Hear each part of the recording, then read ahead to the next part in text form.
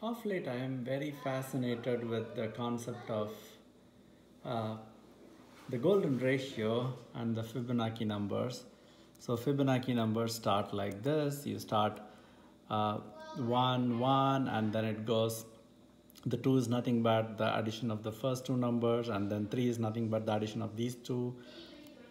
And then it keeps going. So any given number is the addition of the previous two numbers. So 34 plus 55 is 89.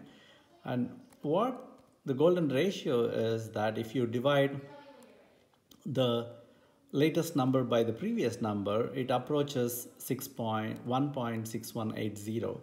Um, it doesn't change a lot as it as it keeps going bigger and bigger number.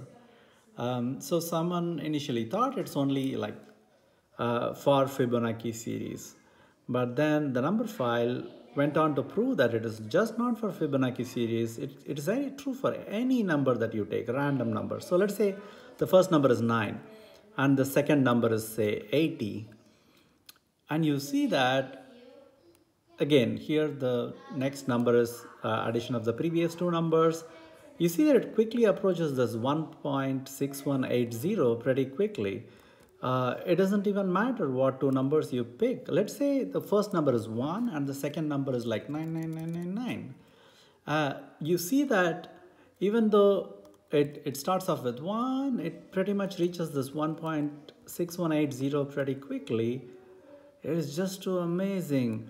Let's try with some negative numbers, minus 9999. You see that it pretty much reaches 1.6180. Let's put the second one as 0. Let's see what happens. It reaches 1.6180.